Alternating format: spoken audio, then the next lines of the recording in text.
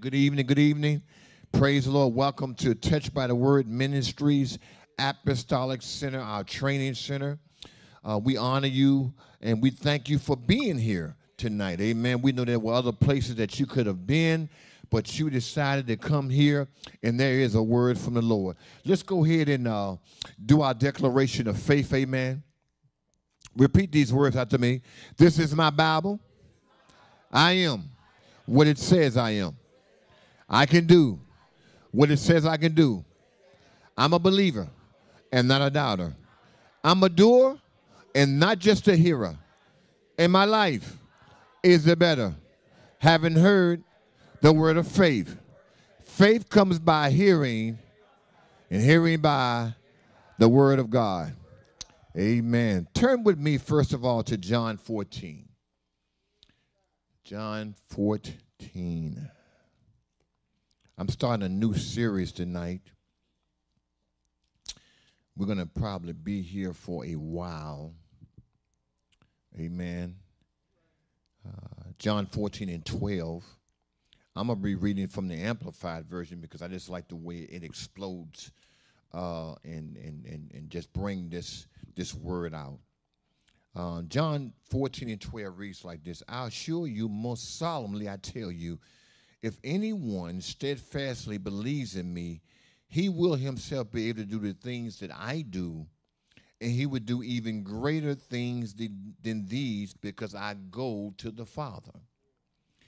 And I will do, I myself will grant whatever you ask in my name as representing all that I am so that the Father may be glorified and extolled in through the Son. Yes, I will grant. I myself would do for you whatever you ask in my name as, as representing all that I am.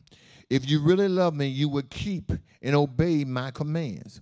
And I will ask the Father, and he will give you another comforter, counselor, helper, intercessor, advocate, strengthener, and standby that he may remain with you forever. The Spirit of truth, whom the world cannot receive, welcome, take to his heart, because it does not see him or know him and recognize him. But you know and recognize him, for he lives with you and constantly will be in you. I will not leave you as orphans, comfortless, desolate, bereaved, forlorn, helpless. I will come back to you. And then let's drop down to verse 26. But the comforter, the counselor, the helper, the intercessor, the advocate, the strengthener, and standby, the Holy Spirit, whom the Father will send in my name in my place to represent me and act on my behalf, he will teach you all things.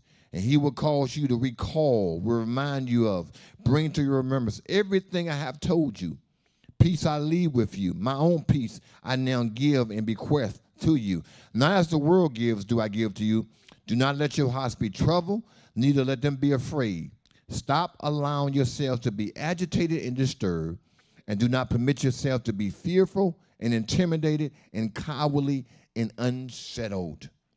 You heard me tell you, I'm going away and I'm coming back to you. If you really love me, you would have been glad because I'm going to the Father. For the Father is greater and mightier than I. And now I have told you this before it occurs, so that when it does take place, you may believe and have faith in and rely on me. Amen. We're going to pray, uh, but my assignment tonight is to teach on this subject exploring the dynamics of the Holy Spirit exploring the dynamics of the Holy Spirit. Father, we come before you right in the name of Jesus. Lord, of and within myself, I'm incapable, I'm inadequate. I come to you now, Lord God. I'm asking you to anoint this vessel of clay, that you would anoint these lips of clay, that I will only speak what you authorize to build up, to exhort, and to encourage your people. Holy Spirit, I pray that you make my tongue as a pen of a ready writer. Holy Spirit, I am totally dependent upon you. We need this teaching. I'm asking you to open up the eyes of our understanding as we go through these scriptures and go through this teaching tonight, and we will be forever grateful. In Jesus' name I pray. Amen. You may be seated in the presence of the Lord. Exploring the dynamics of the Holy Spirit. Amen. This is a new series that I'm starting um, uh, because of um, this is a foundational truth that I believe that's missing from the body of Christ. We're not teaching on the Holy Spirit. People are um, uneducated from a biblical perspective about the Holy Spirit. So the, the, whole, the Lord has put it on my spirit and on my heart to go down this path. Amen? In the body of Christ, studying the Holy Spirit has become inconsistent at best, paving the way from a, for a lot of confusion. This topic is being revisited based on our new membership. It's been a while since I've taught on the Holy Spirit, and also it's advantageous for our current members to undergo what we call a refresher. Amen? Amen. So now, as we go through this, I'm praying for the anointing that makes teaching and preaching easy tonight. So, as we go through this, the goal is to communicate the series from three separate and distinct perspectives. We're going to approach this series on the Holy Spirit from an inspirational, revelational, and theological perspective. I'm gonna, some of you are going to hear terms for the first time. Amen. And I'm going to do my best to explain these terms to you. Amen. The objective is to become more enlightened on the ministry of the Holy Spirit. Now, let's start this right off. The Holy Spirit is the third person of the Godhead. We have God the Father, God the Son, and God the Holy Spirit. Are you to hear what I'm saying? The Holy Spirit has always been here. God the Father, God the Son, God the Holy Spirit are coexistent. They are one, but each one of them have three distinct personalities. Amen. And if you went through first step, you already know we have a, a, a teaching on the Holy Spirit. Amen. But for this teaching here, I didn't even go back and revisit those notes. I'm, I'm, I'm, this is something fresh that God has given me. It's not different from that. It lines up exactly with what's in that book. I just want to go to another level. The ministry of the Holy Spirit is critical to God's overall objective. Now, let me help y'all understand something. One thing we want to do in this church is we want to gain a healthy reverence and a healthy respect for the Holy Spirit. We're not to play around with the Holy Spirit. We're not to blaspheme the Holy Spirit. We're not to do anything to be disrespectful to the Holy Spirit. Does everybody understand that? It is very important that we understand that when we talk about the Holy Spirit, we're talking about that aspect of God that can get you in trouble more than in trouble with God the Father and God the Son. I want you all to understand that. One of the things that, that one of the biggest problems that we have, and, and, and, the reason we don't have revelation is we don't understand the, the, the, the ministry of the Holy Spirit. We don't understand what his purpose is. He was sent here as Jesus left. Jesus said in his word, It is needful, it is beneficial that I go away. He, he said, I will not leave you comfortless. He said, I'm going to rescind the Holy Ghost. Amen. And the Holy Ghost has specific functions, not just one function, but specific functions. A lot of time we're going to God and asking Him for stuff when really who we should be asking is the Holy Ghost. It's not God that's going to help us understand the scriptures, it's the Holy Ghost that's going to help us understand the scriptures. Okay? Allow me to use a word of caution please remain maintain a teachable spirit. Don't the, the way that you're going to go to another level is you got to maintain a teachable spirit. You've got to be ready to go to the next level. We should be in a position right now i am not comfortable with being where i was when i first started out this year. I want god to take me to another depth I believe there's a, there's a, that we haven't really scratched the surface, and the reason we haven't scratched the surface is we have not tapped into the ministry of the Holy Ghost. All right. Some would be introduced to the Holy Spirit in a way that may seem foreign, but I'm telling you, I'm coming out of Scripture. You don't have to worry about that. Won't be nothing spooky. Won't be nothing crazy. Now watch this. It's going to be a while before we get into tongues. The Holy Spirit is not, we have relegated to him to just the tongues. Amen. the baptism of the Holy Ghost with the evidence of speaking in tongues, that's just one aspect of his ministry. It is the Holy Spirit or the Holy Ghost. When I say Holy Spirit or Holy Ghost, I'm talking about the same person that comes on the inside of us and causes us to receive Christ. It is the Holy Spirit who comes on the inside of us, amen, and causes us to receive revelation. Amen. He is the one that helps us understand that we have need of a Savior. He is the one that makes it clear that Jesus is the Son of the living God. Jesus said he's going to come and teach you about me the Holy Spirit. Okay? The Holy Spirit is to be respected with reverence and holy awe. Go with me to Matthew chapter 12. Matthew chapter 12. You might want to take some notes. You might want to uh, get you a CD. You whatever you want to do is you want to get yourself because you're not going to get it in this setting. I don't, like I said, I don't know how far. I can go all year just on Wednesday night, just talking about the Holy Ghost. I'm serious. When you talk about his ministry, amen, you talk about that he's a person, he has a personality. We can talk about his deity. We can talk about why he was sent here. All I can, the rest of the year, I don't have to teach on anything um, that I that, that, needs to be taught on. I can take the rest of the year and go and teach on the Holy Spirit. Hey, listen to what I'm saying. So in Matthew chapter 12, verse 31, are you there? Verse 31, he said, Wherefore I say unto you, all manner of sin and blasphemy shall be forgiven unto men. But the blasphemy against the Holy Ghost shall not be forgiven unto men. Do you see that? I want you to see that. Whosoever speaketh a word against the Son of Man, it shall be forgiven him. But whosoever speaketh against the Holy Ghost, it shall not be forgiven him, neither in this world, neither in the world to come. There is a sin called the unpardonable sin. That is the sin against the Holy Ghost. Don't worry about it. You ain't nowhere near that sin, amen. I may even include that teaching in here because it would show you, and you would have to have a depth of knowledge you would have to have an understanding. You would have to have received a baptism. You would have to receive supernatural signs and wonders. And then you would have to blatantly have to go on through all of that and turn your back on God.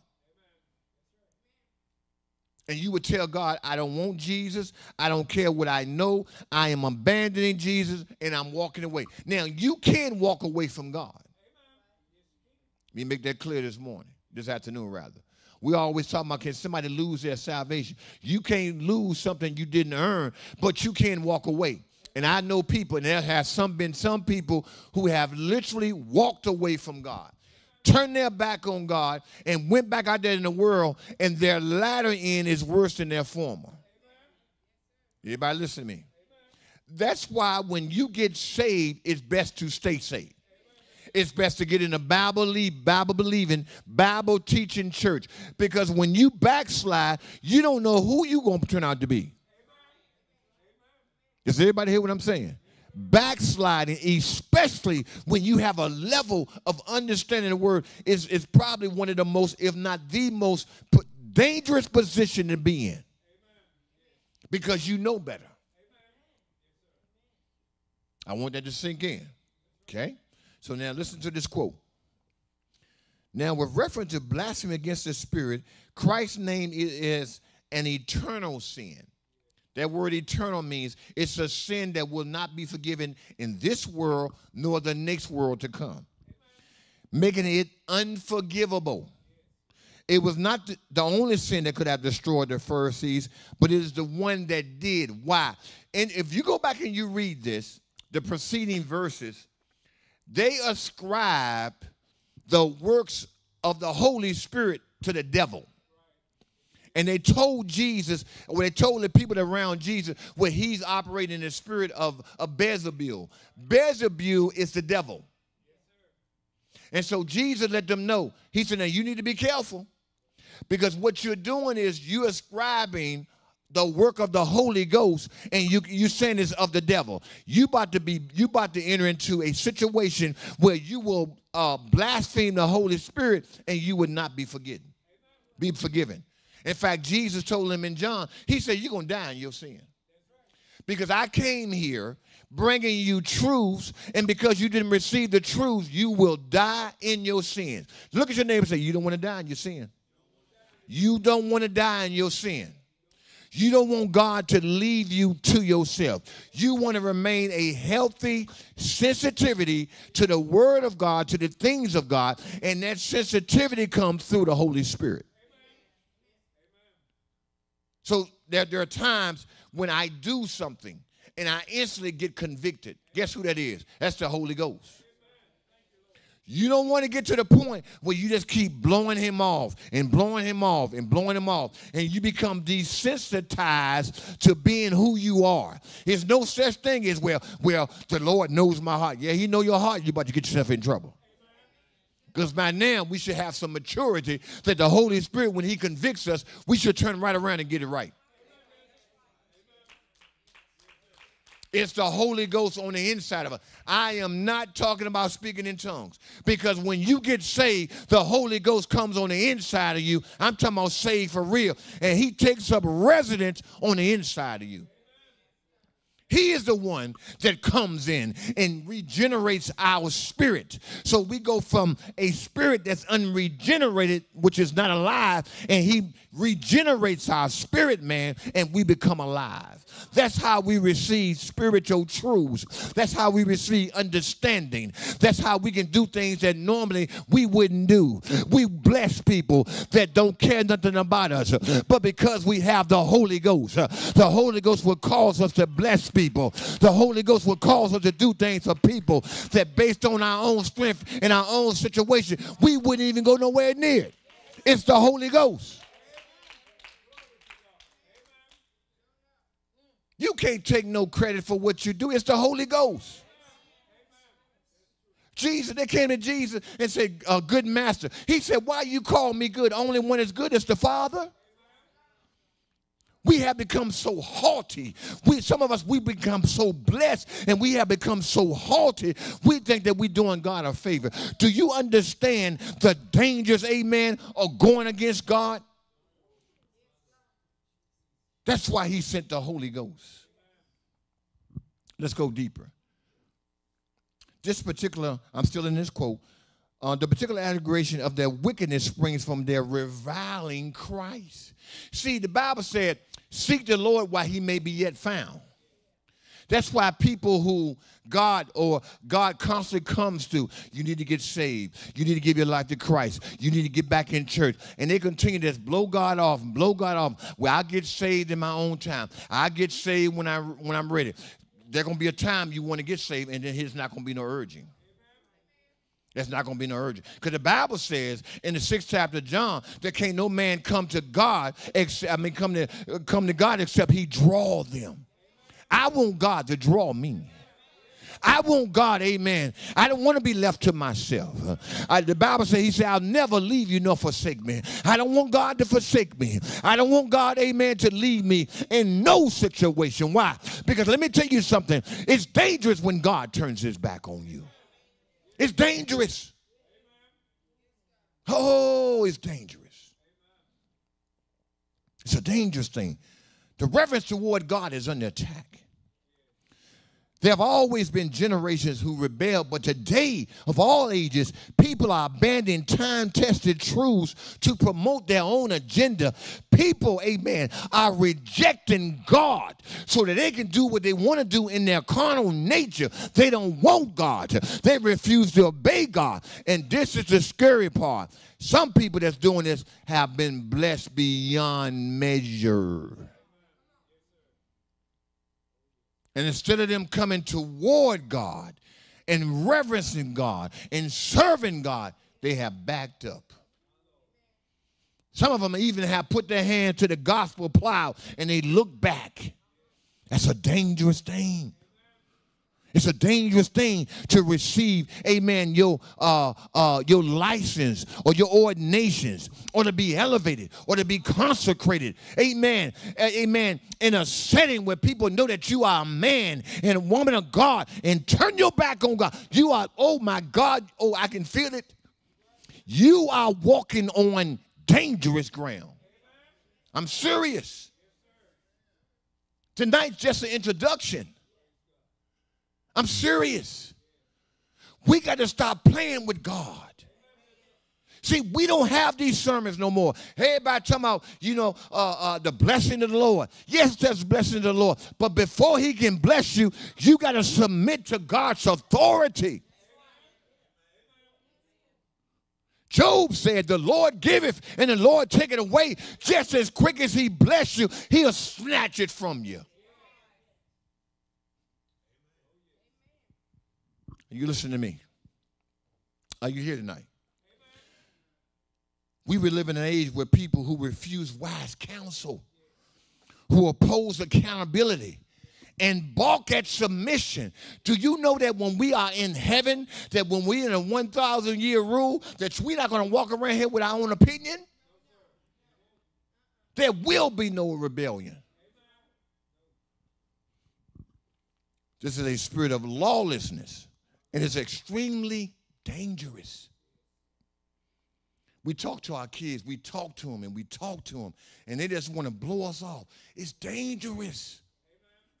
Listen to me, young people. It's dangerous when you just consistently keep blowing off your mama or blowing off your daddy or blowing off your grandmother. They know better. They telling you, you may not like it, but trust me, what they're telling you is for your good. I promise you. Just stop for a moment and just, uh, just think. What did they say? Why did they say it? Because they won't, they don't want you to get in trouble. They don't want you to get killed. They don't want you to go out here and get strung out on drugs, or worse yet, take a drug overdose, Un, be, become pregnant out of wedlock. Rejection of God's order is to align oneself with the satanic principle of rebellion and lawlessness. You can't have one foot in the church and one foot out. You can't do it. There's too many people straddling the fence. One foot in and one foot out. Whatever you're going through. Where's Minister Randolph at? Whatever you're going through. I, I applaud Minister Randolph. He suffered a, a I mean, just a, a tragic loss last year. His wife passed away on a Thursday, and we had intercessory prayer. And Minister Randolph came on intercessory prayer, messed all of us up. You know what's kept him? God. Yes, he. I'm sure he's gone through situations and questioned God and things, isn't he? But he never turned his back on God. He trusted God, and it has been God that has helped him walk through this tragedy. Even today, I know there are times where he hurts, but he relies on God. So no matter what you're going through, you have to rely on God. You have to.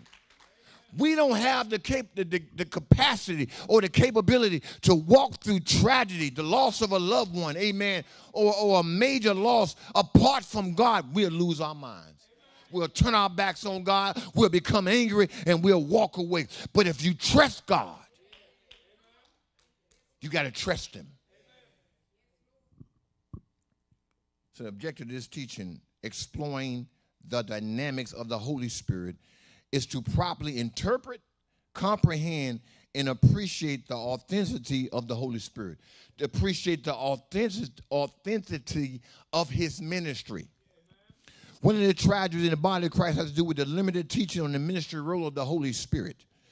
Amen, which has called created a, a, a lot of misunderstanding, misinformation, misinterpretation, and misrepresentation. Most people don't even know the Holy Spirit is God. We have the nerve to call him it. He's not an it, he's a he.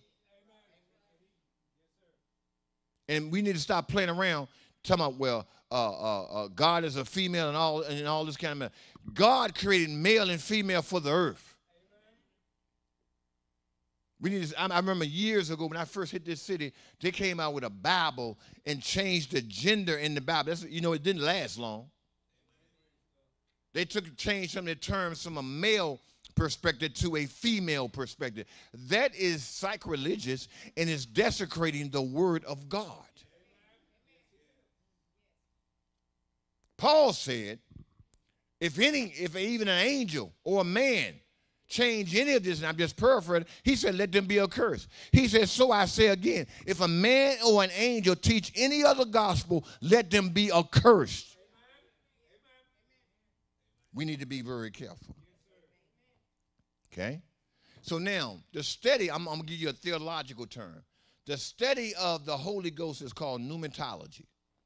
For those of you that are taking notes, it's just like pneumonia. It's P N E U M A T O L O G Y. It's called pneumatology. That is a theological term. Remember, I told you inspirational, revelational, and theological perspective. Okay? I'm gonna give you terms that are not in the Bible, but they are they've been assigned as a study. And, and theology is really just a study of God. It's a deeper study of God. It gives us understanding of the Bible. It gives us understanding of different uh, uh, different uh, uh, uh aspects of, of the Christianity religion. Soteriology is the study of Jesus. Eschatology is the study of the end times. The Bible, when we study the Bible, is called bibliography, bibliology. See, all these terms, they're not biblical terms, but they are theology terms. And, and what makes them powerful, make them relevant, is they line up with the Bible. Does everybody understand that? Okay, so it's called pneumatology.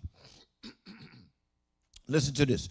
The term pneumatology comes from two Greek words, namely pneuma, meaning wind, breath, or spirit, use of the Holy Spirit, and logos meaning word, matter, or thing. And it is used in Christian, in Christian systematic theology. Systematic theology is a systematic way that we should study the Bible. Why is it important? We will study the Bible. You'll study the Bible, the fall of man, sin, original sin. God the Father, God the Son, God, uh, uh, God the Holy Ghost. You'll, you'll have a study of God, his, his attributes, his holiness, his immutability. You, you, you'll study Jesus Christ. Why? Because we want to know that he was fully man and fully God, he was deity. That's very important because one of the main points in being a Christian is this is the only religion, I hate to use that word religion, but this is the only religion where the initiator lived, died, and he still lives. No other religion can say that. None. That's what separates us from everybody else. Not only does he live, he's sitting on the right hand of God, living to make intercession for us. Does everybody understand that? That's why we have, a man systematic theology. That's why you just, Lord help me. To be a pastor, you have to literally sacrifice your life because you have to study. You have to study. Just tonight, I was talking to Sister Brianna, and she was talking about the Maccabees. Anybody ever heard of the Maccabees? One. Raise your hand. Two. I know you, Minister Pie, Elder Pie. Two. Well, if you read, go go to go to um, go to uh, go to Malachi. Help me, Holy God. I'm trying. I'm veering off course, but I'm trying to show you something. I'm trying to show you something. Malachi. Mm-hmm. Let me get there. Where you at?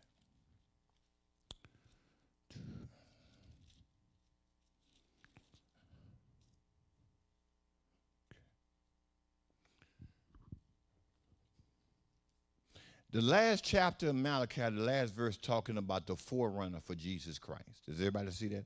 Everybody know who the forerunner was, right? Amen. If you're not a minister, y'all be quiet. I want to minister. Who's the forerunner? John. John the Baptist is a forerunner. In other words, he was the one that sent forth before Jesus came to pave the way for Jesus Christ. Where in my Bible, I have a different Bible. It's a New Testament, it's, it's, it's, a, it's a study Bible. There's a, there's a section in my Bible that's between Malachi and Matthew. Now, watch what it says here. The 400 years between the prophecy of Malachi and the advent of Christ are frequently described as silent. In other words, what they're saying is God didn't speak during these 400 years. And so there was this group called the Maccabees who rose up. They were Jews and they were being oppressed, and, and people would come, uh, the enemy would come and they, they desecrated the temple amen, and did all kind of foolish things. Where the Maccabees rose up, there was a family of them. They rose up and they were militant and they fought against these other people to preserve the temple and to preserve their faith, which was the Jewish faith. Does everybody understand that? Why is that important? It is so important that your pastor not be ignorant of the word. Does everybody understand that? It is so important that your pastor or your pastors, they spend time in the Word, they spend time studying. Amen. Uh, we go shopping, and, and, and Pastor, she likes shoes. I'm looking for a bookstore. And it's a sad, I think, in this in this city here, that we don't have a Bible bookstore anymore. You got to go all the way to Decatur to get a Bible bookstore. I think that's that's. And then they're taking one of them and they turn it into a, a pet store. Every time I walk past it or ride past it, it's just something that does, it does something in my spirit. You, you, if you know how this woman of God studies the word, the sacrifice that she makes. Why? Because when we come before you, we want to make sure you're getting a fresh word. We want to make sure that you're not getting something to entertain you. We want to make sure that you're getting a word that's going to get down the inside of you, that's going to cause you to rise above every situation that you're dealing with. It is a major sacrifice. Okay? So, the Holy Spirit, He's a person. Does everybody understand that? God the Father, God the Son, God the Holy Spirit. Go to Genesis chapter 1. I knew I was going to veer off course, but this is okay. This is okay. This is okay. Y'all all right? Okay. We're talking about exploring the dynamics of the Holy Spirit. So in Genesis 1, in the beginning, God created the heavens and earth. You see that? Okay, so it's telling you now the first chapter, the first verse in Genesis 1 is identifying who's there. It said, Who's there? God created the heavens and earth. Let's go to verse 2. And the earth was without form and void, and darkness was upon the face of the deep. And the Spirit of God moved upon the face of the earth. Now, your word in your Bible, the Spirit of God should be capitalized. Who do you think that is? That's the Holy Spirit. Do you see that? I need you to see this. I need you to see that He's always been here. Okay? Now, drop down to verse 26.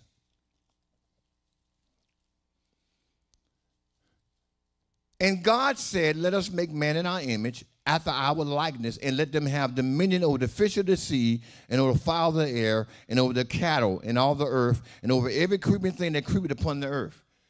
So, who is the us? God the Father, God the Son, and God the Holy Spirit. Well, how do I know that God the Son is there? I'm glad you asked. Go to First John 1.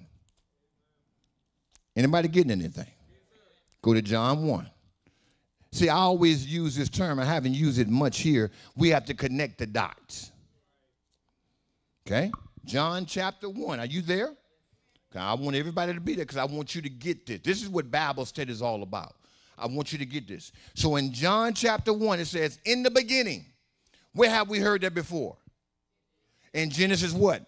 1 and 1. Here we are again. In the beginning was the word. Is, is, is that word capitalized in your Bible? Okay, good.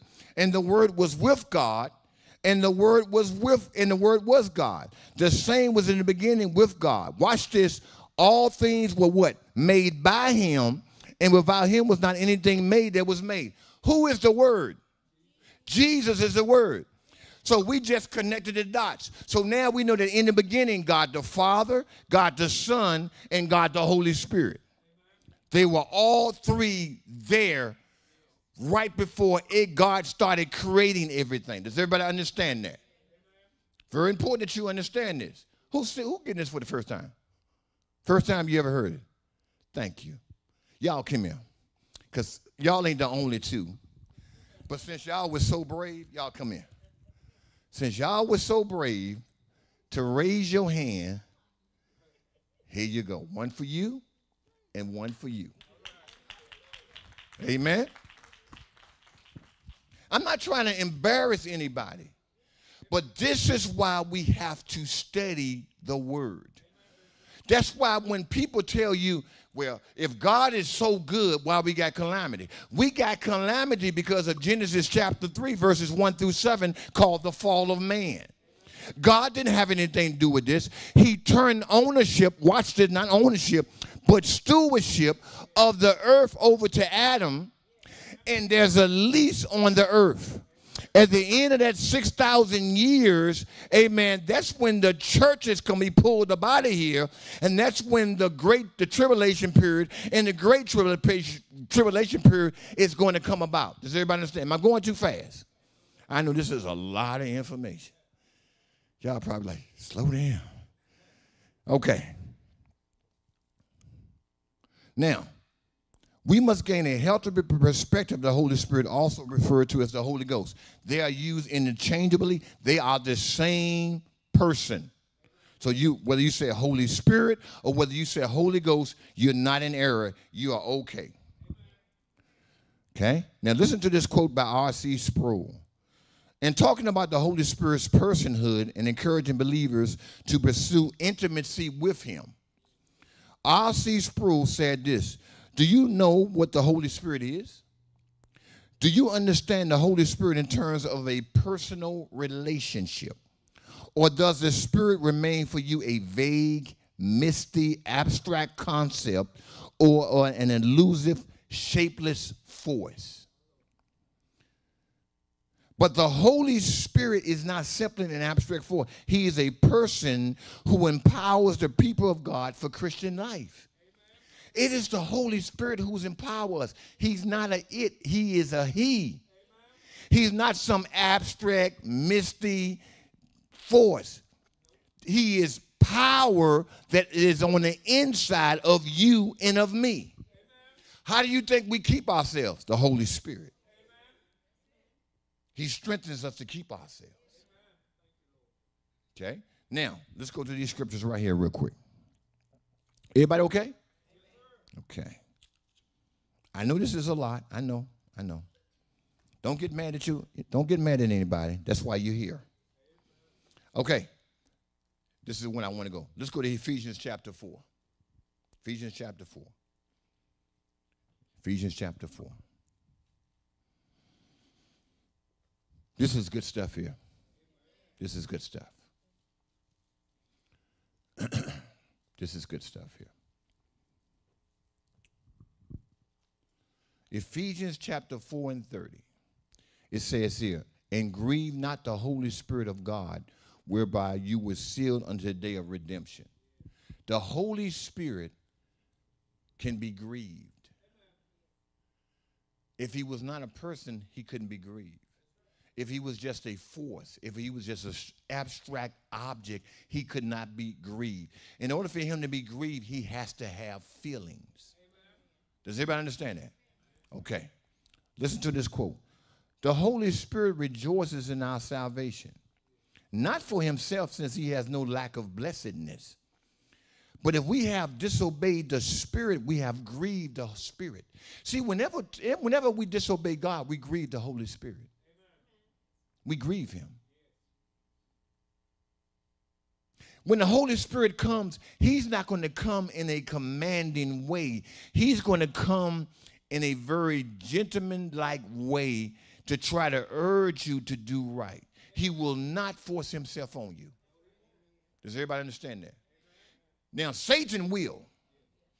Satan will push his way in your life and try to domin- and domineer you and dominate you, not the Holy Spirit.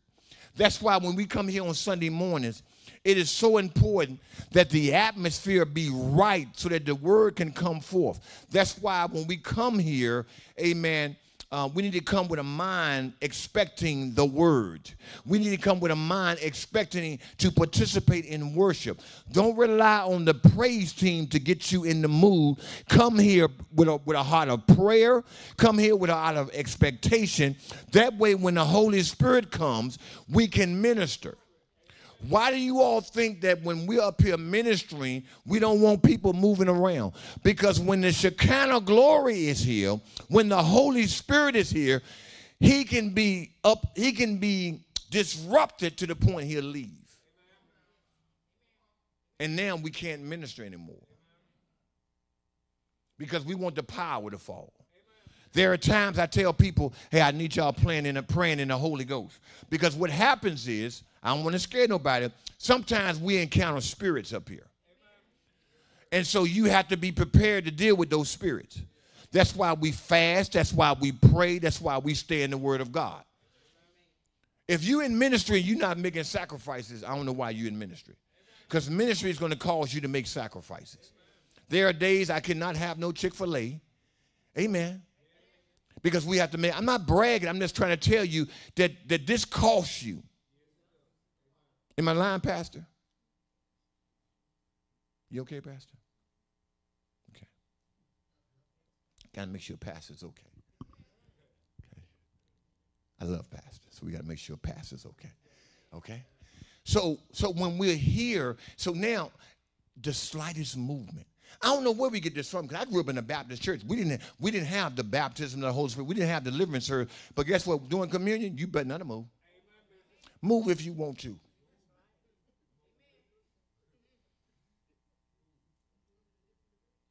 And your mama put that eyes on you. Can't nobody save you because you know you're going to get a killing. And now people get up and they go to the bath. We, we're doing communion. It is a sacred when we're doing communion.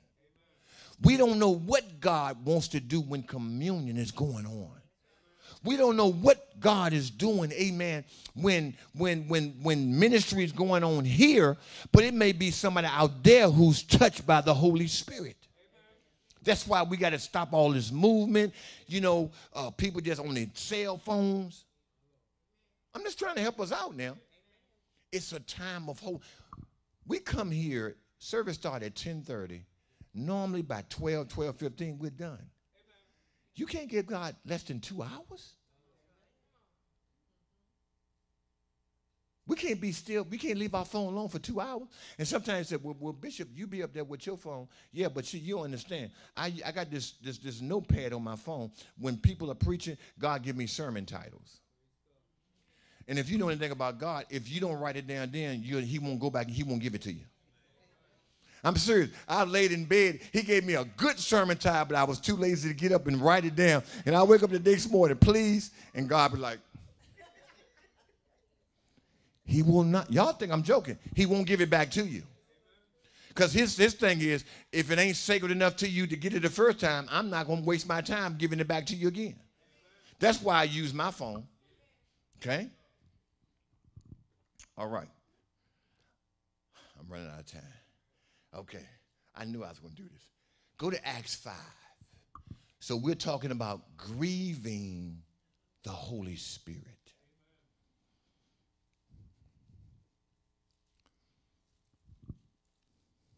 Sister Gail, you okay? Okay, all right. I know she okay. She got that big old smile on her face. She all right. Amen. Acts chapter 5, verse 1. Are you there? I want everybody there because I want you to see this. What, what, are we in the Old Testament and the New Testament? We, we, we where? Okay. Because a lot of times stuff happens, you say, well, that's the Old Testament. This the New. And let me help you out. The book of Acts has not ended. We're living the book of Acts right now. Does everybody understand that? All right. Verse 1. But a certain man named Ananias with his wife Sapphira, his wife, sold a possession. Let me give you a little background. At this time, the church was growing, people were selling property, and they was taking the money and bringing it to the, to the apostles' feet, and they were distributing it to the poor, to the needy, etc., etc. So now we got Ananias and Sapphira. They have sold some property. Everybody tracking?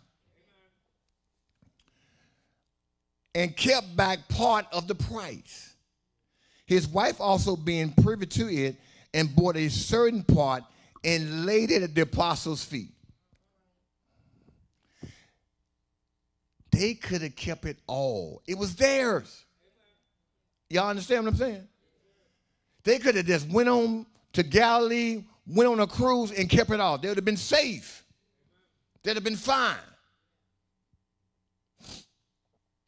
But Peter said, Ananias, why have Satan filled thy heart to lie to the Holy Ghost and to keep part of the price of the land? Wait a minute. If the Holy Ghost is a thing, how can I lie to him? He just told me, he said, Why you lying to the Holy Ghost? And you kept part of it. See, the problem was he came and bought part of the money, he kept part to himself, so now he deceiving. Does everybody see that? I want you to see this now. Because he he bringing like okay, I'm gonna bring a thousand dollars. I'm gonna give it to the church, but I know I sold the property for two thousand dollars. Cause watch this. Know why he got in trouble? The reason that people bought it was because he know he they know that he was gonna give it to the church. So he kept back part of it. You tracking? All right, let's go. and to keep back part of the price of the land. Whilst it remained, was it not thy own? And after it was sold, was it not in thy own power? You see that? Why hast thou conceived this thing in thy heart? Thou hast not lied unto men, but unto God. Let's just let's just stop right there. Stop going to God, praying, Lord, if you do this for me, I'll do that. Stop it. If you know that you don't have it within you, or you don't have the wherewithal to do what you just made a commitment to God do, don't make a commitment to God. Does everybody understand that? That's dangerous. I'm not going to say you're going to die, but you're going to get yourself in trouble. I'm just going to be real. Does everybody understand that? If you say, God, if you get me this promotion, I'm a tithe. If you're not tithing now, how are you going to tithe with a promotion? I'm serious. Think about it now. You make $2,000 a week. I'm just using this as an example. What's a tithe to $2,000? $200. But you struggle to let it go. How are you going to tithe all $4,000 a week? You're going to look at that like, all that go to the church? Am I making sense? Don't do it. The Bible said don't make a vow because he expects you to pay for it. He expects for you to pay that vow. I'm using it as an example because everybody understand money. Don't go to God and say, Lord, if you do this, I'll do that. Does everybody understand that? All right, let's go deeper. I'm almost done. Y'all got to look on your face like, why, why are you so spooky tonight? Okay. Verse 5. And Ananias, hearing these words, fell down and gave it the ghost. He died. What part of the Bible we in? New Testament. New Testament. Okay. And great fear came on all of them that heard these things. And the men arose, wound him up, and carried him out and buried him. End of the story? No. Verse 7. And it was about the space of three hours after when his wife, not knowing what was done, came in. Lesson number two never conspire with other people to do something against God. Don't do it. Don't conspire with anyone to do something against God. Let's go deeper. And Peter answered unto her, Tell me whether you sold the land for so much. And she said, Yeah, for so much. Then Peter said unto her, How is it that you have agreed to tempt the Spirit of God? Wait a minute. If he's just a power or a force, how can you tempt him? Because he's a person. Behold, the feet of them which have buried thy husband are at the door. It shall carry thee out. Then she fell down straightway at his feet and yielded up the ghost. And the young men came in and found her dead, carrying her forth, buried her by her husband. This is why we don't want to grieve the Holy Spirit. You okay, Sister Cora? Okay, I just want to make sure you're okay.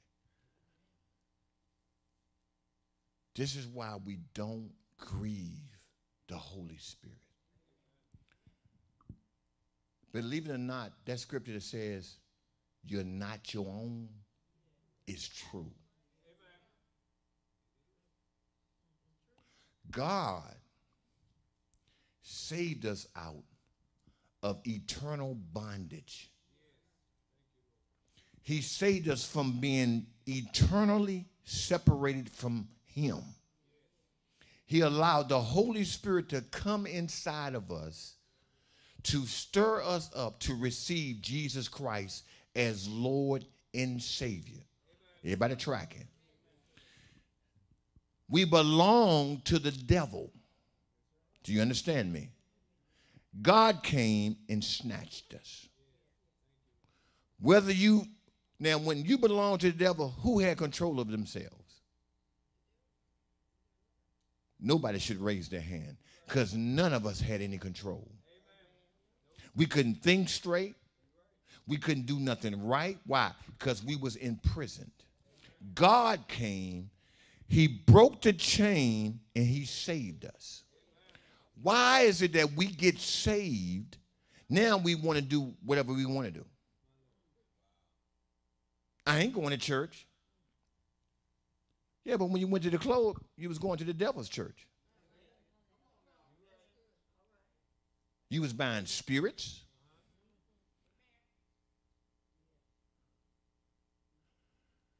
You had the, you had the devil's praise and worship leader. That was the DJ. Yeah. The preacher was the bartender. Can you see it? And you was what? Giving him tithes and offering to the devil.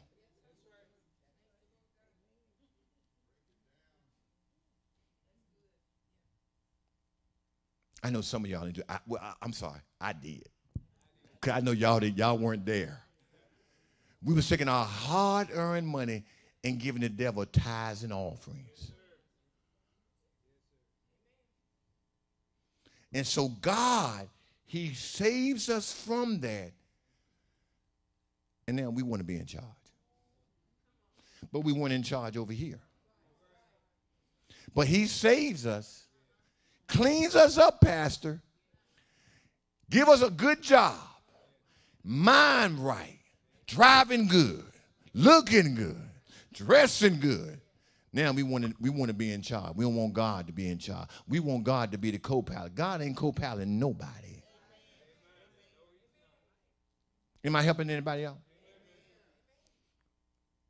Now we get blessed. Now we don't want to come to church. We in charge. I'm going to do my own thing. But we ain't do our own thing over here. Somebody talk to me. We had no control when we was under the control of the devil. We was in relationships that was no good and we knew they weren't no good. We gave our heart and money to that joker or to that female who was not no good for us. Amen. And then God delivered us from bad relationships. He delivered us from a hateful boss. He delivered us from underpaying jobs. He brings us over here. He sets us on solid ground. Now we want to be in charge. My, my, my, my, my. And God help you if you if somebody give you a title, give you a, a, a, license, or, or make you an elder. Now you're out here ripping people's churches up because you want your own. Who gave it to you, God? Over here, we couldn't keep a dime. We get over here, God give us a mind, amen, to learn how to get a checking account, a saving account, and we won't even bring God an offering on Sunday morning. I only got five minutes. We want to be in charge now. I want to do what I want to do. I'm in control of my own destiny. Job said, He giveth and He taketh away. Some of y'all in a position, but He about to take it. Because there's, there's no, uh, let me tell you something. There's no excuse. I don't care about you hating on me. See, my job is to tell you the truth.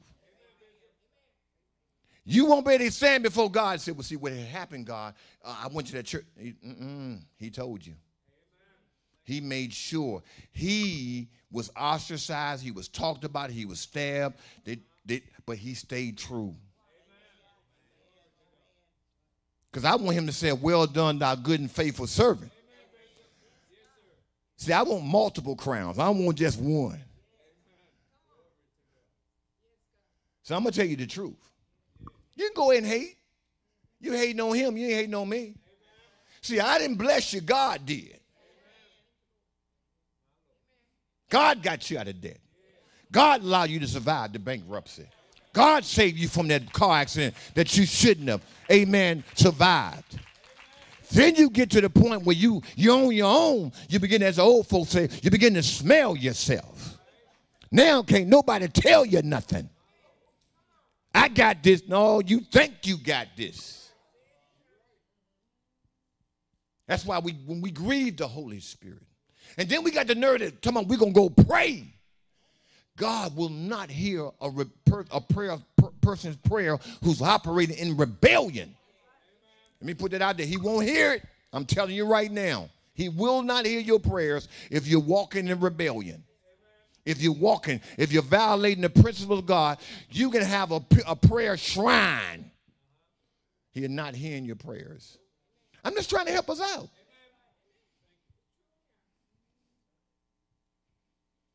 And the dangers of being a church in a church like this, you know what's dangerous about it?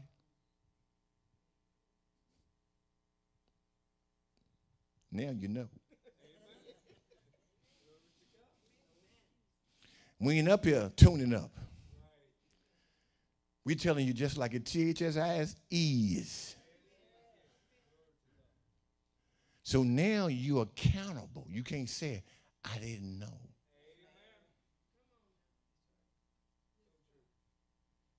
Y'all all right?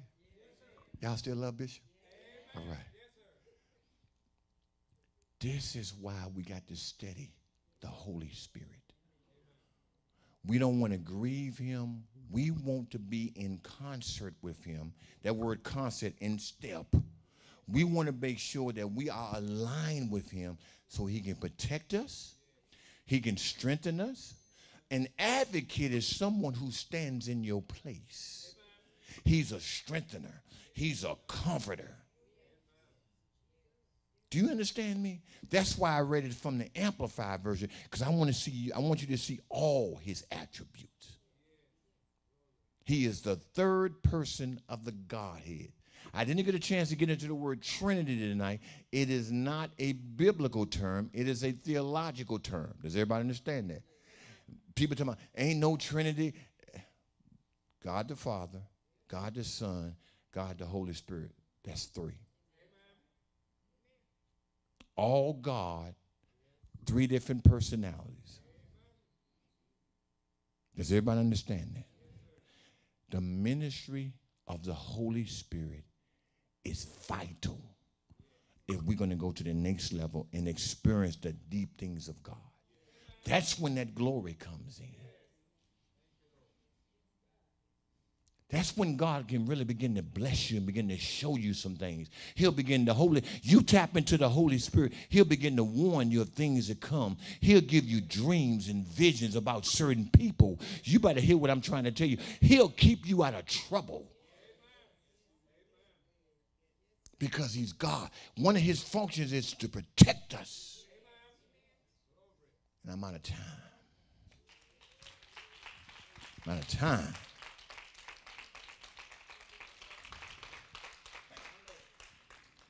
Exploring the dynamics of the Holy Ghost. Amen. Amen.